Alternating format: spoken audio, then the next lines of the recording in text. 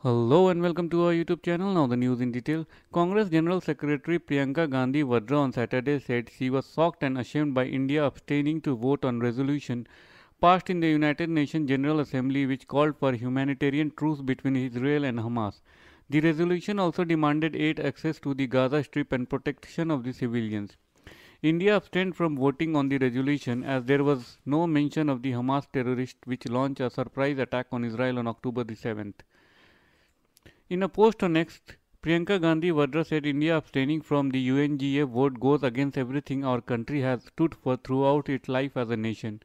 To refuse to take a stand and watch in silence as every law of humanity is pulverized Food, water, medical supplies, communication, and power is cut off too.